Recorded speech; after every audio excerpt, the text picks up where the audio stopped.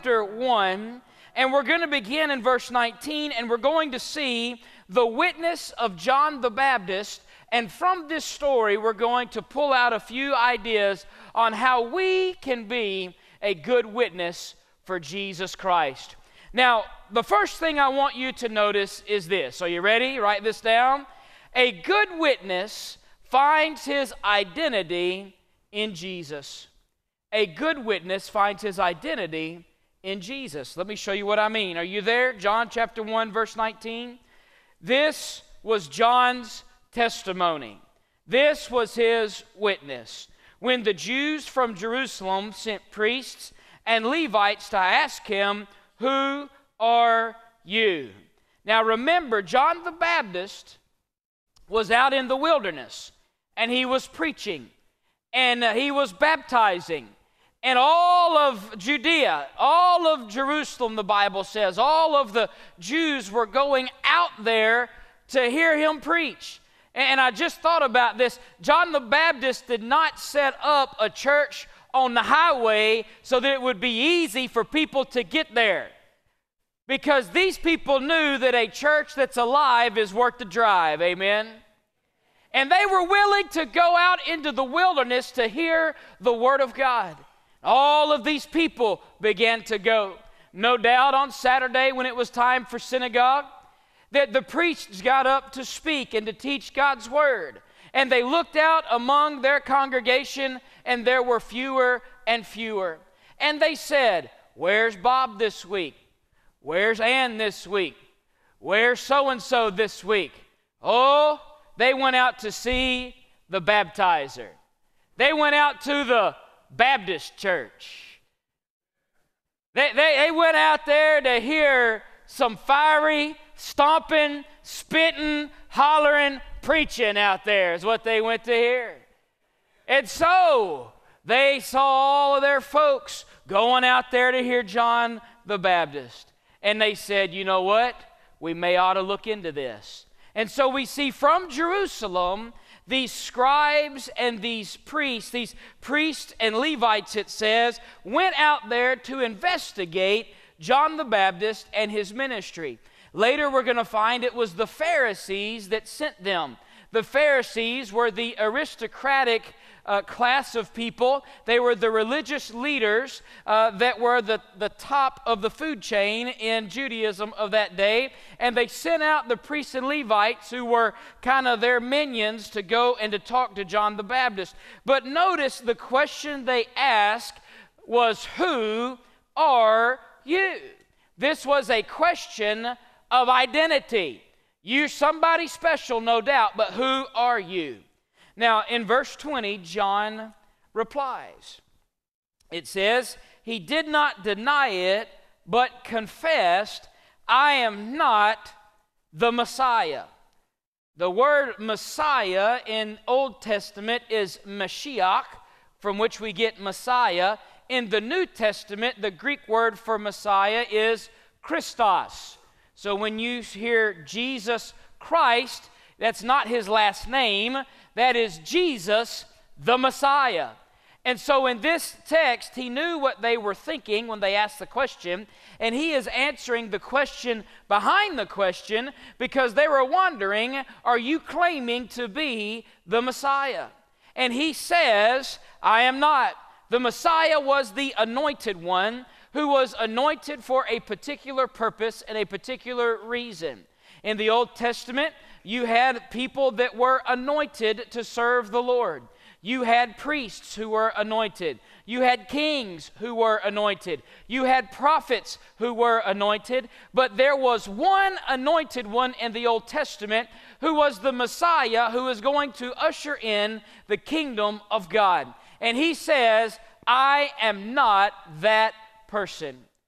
They go on to ask, What then? In verse 21 are you Elijah? Now, why would they ask that question? Elijah was an Old Testament prophet.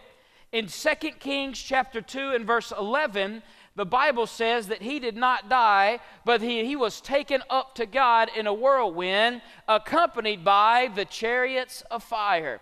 If you've not read that passage of Scripture, I'd encourage you to do so. It's a pretty fun one. I wouldn't have mind being there to see that take place. But in Malachi chapter 4 and verse 5, the Bible says, Look, I am going to send you the prophet Elijah before the great and terrible day of the Lord comes. Before this end time, before the Lord shows up, I'm going to send Elijah. Now, John the Baptist says, I am not, in verse 21. Jesus says that he was Elijah who was to come. Well, who is right? Both of them are right. He was not the literal Elijah, but he was the figurative, metaphorical Elijah who was coming before the Lord was going to show up. So, in one sense, John was right. He was not the literal Elijah. In another sense, Jesus was right because he was the figurative fulfillment of that prophecy. And so we see here, he says, I'm not Elijah. Notice the Messiah and Elijah were both in time apocalyptic figures who were going to show up when the end was near. These were people that the Jews were looking for because they were looking for when God was going to return and return the glory of Israel. There was another person that was connected to these end times. That's known as the prophet. Look there, verse 21. Are you the prophet? And he answers, No. In Deuteronomy 18, 15 through 18, here's what it says The Lord your God will raise up for you a prophet like me from among your own brothers. You must listen to him. This is what you requested from the Lord your God at Horeb on the day of the assembly when you said, Let us not continue to hear the voice of the Lord our God and see the great fire any longer, so that we will not die. Then the Lord said, They have spoken well. I will raise up for them a prophet like you from among their brothers. I will put my words in his mouth, and he will tell them everything I command him. Now, there were a number of prophets in the Old Testament, but there was the prophet for whom they were looking who was going to show up and was going to fulfill that end time. John said, I'm not him either. Then, verse 22 Who are you then? They asked. We need to give an answer to those who sent us. What can you tell us about yourself? Verse 23, here's his answer. He said, I am a voice of one crying out in the wilderness, Make straight the way of the Lord, just as Isaiah the prophet said. So he goes back and he quotes Isaiah chapter 40, and he says, This is who I am. So let's look at Isaiah chapter 40. Let me give read to you verse 3 through 5 a voice of one crying out, Prepare the way of the Lord in the wilderness, make a straight highway for our God in the desert. Every valley will be lifted up, and every mountain and hill will be leveled. The uneven ground will become smooth, and the rough places a plain. And the glory of the Lord will appear, and all humanity together will see it, for the mouth of the Lord has spoken.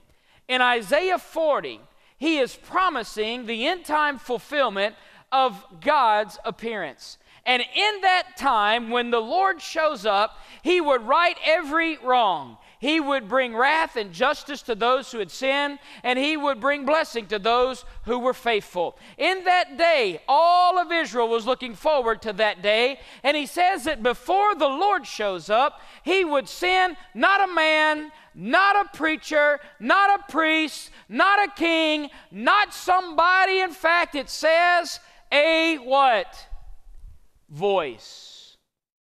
This person was so insignificant that all you would remember was his voice. And the purpose behind this person was to announce the coming of the Lord. He was to make way, to make the path level and straight for the Lord to show up.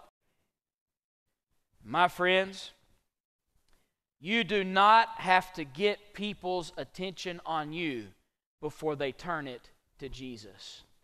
You find your value, you find your strength, you find your identity, and our church finds its identity not in being the First Baptist Church of Lafayette, but in being the church of Jesus Christ. He sets our identity. Number two, a good witness finds his credibility in Jesus. A good witness finds his credibility in Jesus. Notice in verse 24, now they had been sent from the Pharisees, and so they asked him, Why then do you baptize if you aren't the Messiah or Elijah or the prophet. Now, why are they asking this question? Uh, it, they were, it was not foreign to them, this idea of baptism. In Judaism of this day, whenever there was a proselyte, there was a Gentile or a pagan who decided that they wanted to become a Jew, they wanted to follow the God of Judaism, follow the Old Testament, Mosaic law, etc. They would proselyte, they would become a convert or a proselyte to Judaism, and what they would do is that the men the males would be circumcised, and then all of them would be baptized.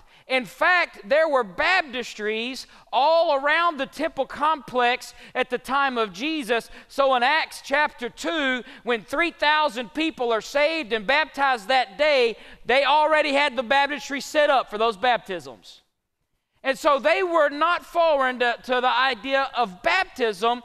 However, John the Baptist was doing something a little different he was not baptizing non Jews who were becoming Jews, he, were, he was baptizing Jews that didn't need to be baptized, at least in the mind of the spiritual leaders of the day. And so he was baptizing, and he was doing it in a way that was outside the confines of what Judaism had been teaching. And they were asking him, On what authority are you baptizing people? On what authority are you out here preaching? On what authority are you out here doing this? They were questioning his credibility of his witness. Notice his answer, he says, verse 26 I baptize with water. Now, this is actually a shortened amount of what he actually said. So I want to read Matthew chapter 3, verse 11. He says, I baptize you with water for repentance, but the one who is coming after me is more powerful than I. I'm not worthy to remove his sandals. He himself will baptize you with the Holy Spirit and fire. And so he was baptizing in water, but Jesus was going to show up and baptize in the Holy Spirit and fire. Now, he doesn't talk about Holy Spirit and fire here because his emphasis here was not the way or in what he was baptizing. The emphasis was his credibility. The emphasis was placed on his authority. And so he immediately goes to Jesus. Look what he says. He says, He answered them, Someone stands among you, but you don't know him. He is the one coming after me, whose sandal strap I'm not worthy to untie. Household slaves in that day did a number of things for the homeowner and the master. One thing that household slaves did not do because it was too demeaning was unstrap the straps of the master's sandal.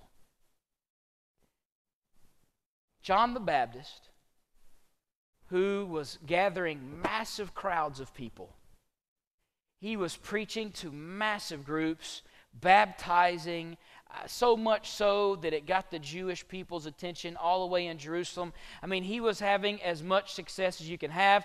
In fact, Jesus said there's no greater man born of woman than John the Baptist. Yet John the Baptist said, I am not worthy to untie his sandals. That is how amazing Jesus is.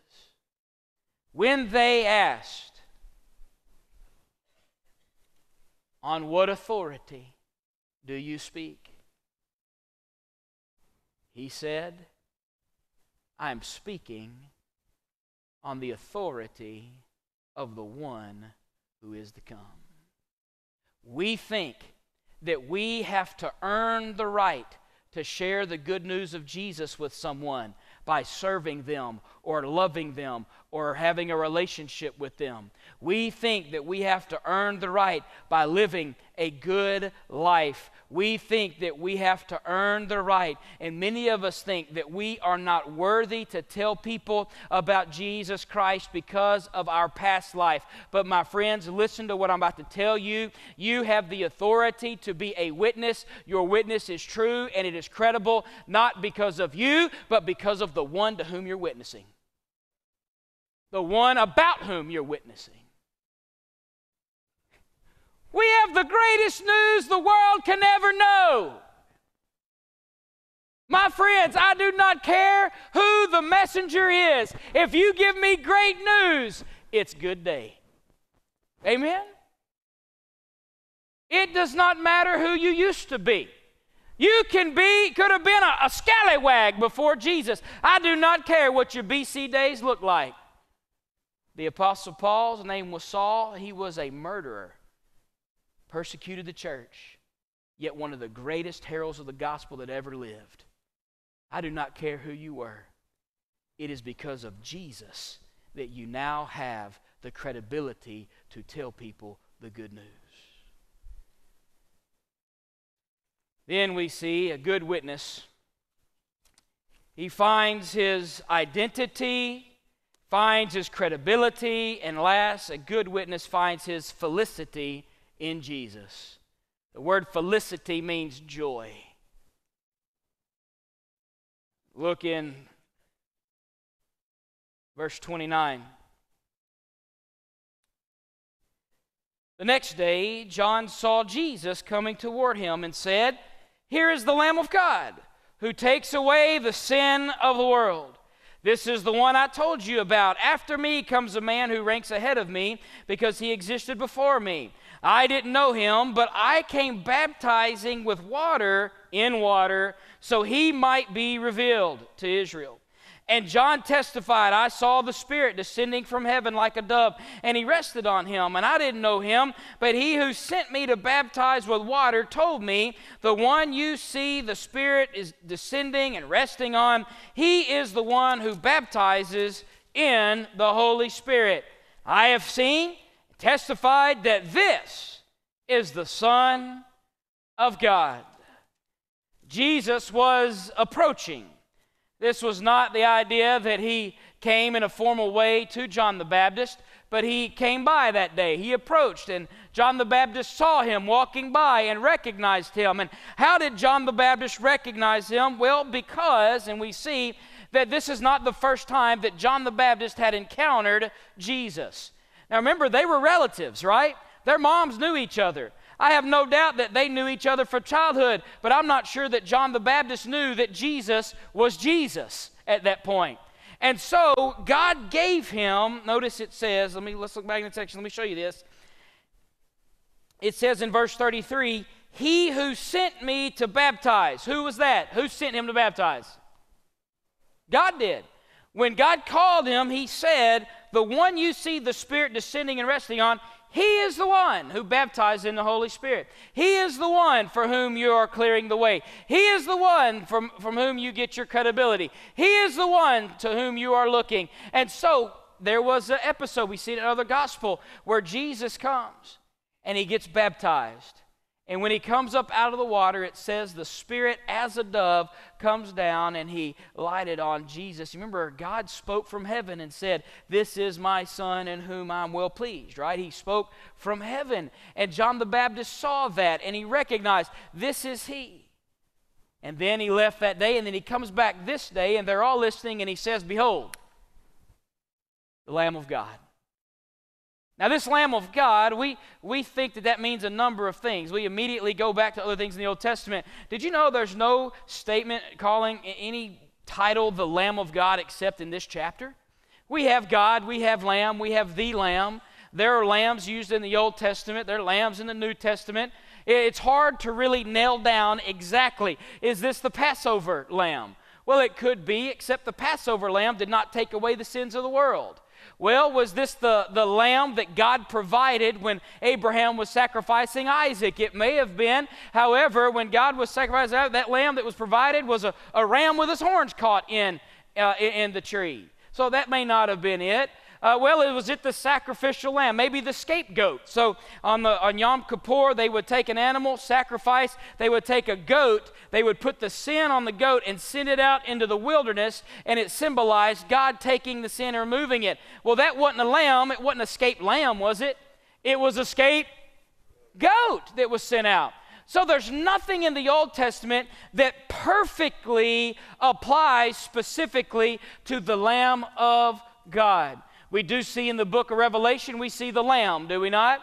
And when we see the Lamb, we see the Lamb coming to take away the sins of the world, not through forgiveness, but through His wrath. Well, which one is it? What are we looking at? Well, let me boil it down to this. When he talks about Jesus as the Lamb of God, it is sacrificial in nature, it is substitutionary in nature to where he took our place, and it is salvific in nature. When he says the Lamb of God, he is saying, This is the way that you can be saved. Jesus is the Lamb of God. He says Jesus is the one going to baptize in the Holy Spirit. He is the one that's going to show up and he's going to fill us with the Spirit of God that we might know him and have a relationship with him. And then lastly, he says he is the Son of God. When he says he's the Son of God, he is encapsulating all of the prophecies about Jesus. He is saying he is divine. He is saying that he's God's Messiah. He is saying that he is God's salvation. Everything is wrapped up in this idea of the Son of God. John coins these phrases here in, uh, when he speaks, John the Baptist does. Now, what does this do? Listen to John chapter 3. 27 through 30. John responded, No one can receive anything unless it has been given to him from heaven. You yourselves can testify that I said, I am not the Messiah, but I've been sent ahead of him. He who is the bride is the, he who's with the bride is the groom, but the groom's friend who stands by and listens for him rejoices greatly at the groom's voice. So this joy of mine is complete. He must increase, but I must decrease. How do you think John presented Jesus? Do you think he did it like this?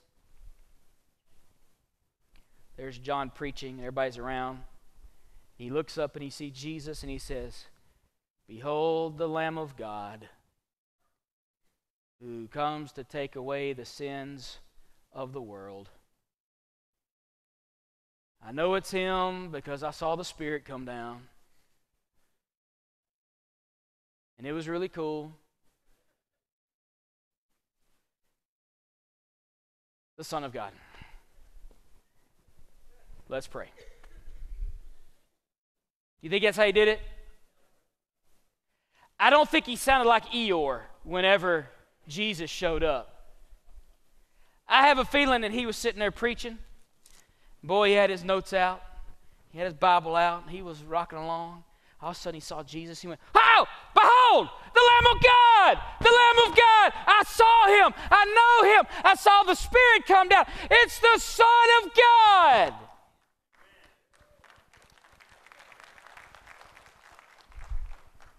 It, it probably was like that. What you think?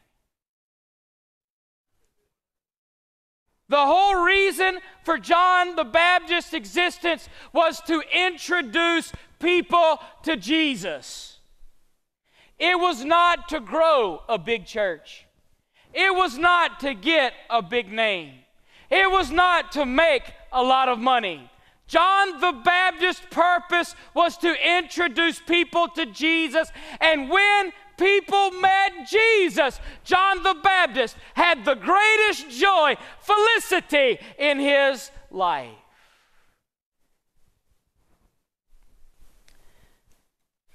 Do you know there are a number of things that I do in ministry that bring me joy? But there is nothing that brings me joy than when someone comes to know Jesus Christ as our Lord and Savior. Can I tell you the greatest joy you can ever experience as a follower of Christ is not an awesome song from the choir and orchestra. No offense. It's great. We love it. but that's not the greatest joy. It is not a rousing gospel message from the preacher that's the greatest joy. It's not even having a class social where you eat a lot of king cake. The greatest joy is when you are part of someone coming to know Jesus.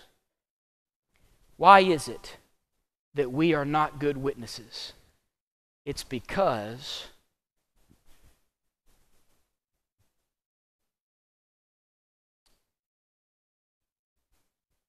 we don't really care if they come to Jesus or not.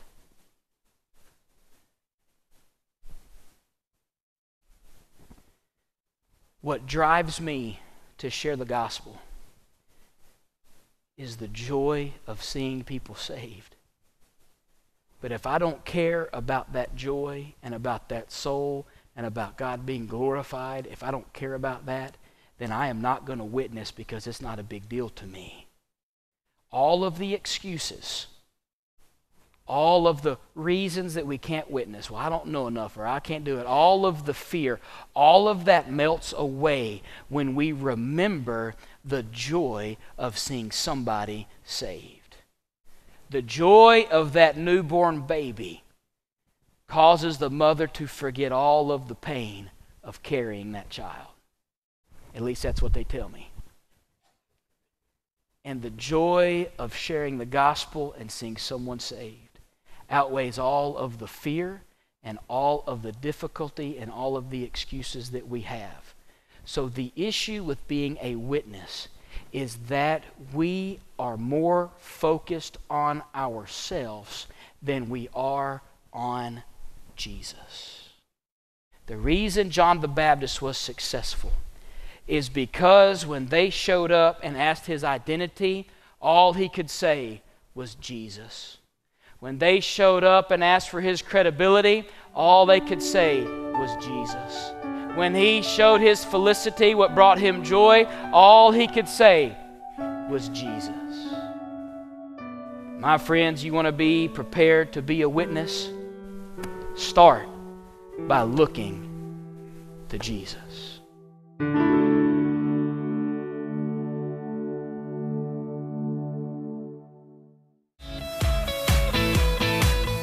Would you like someone to pray with you about a need in your life? Or perhaps you'd like to join us in praying for needs in our community and around the world. We have a prayer page on our website at fbclaf.org/pray. There you can submit prayer requests and you can also pray for the request of others. Visit our prayer page at fbclaf.org/pray.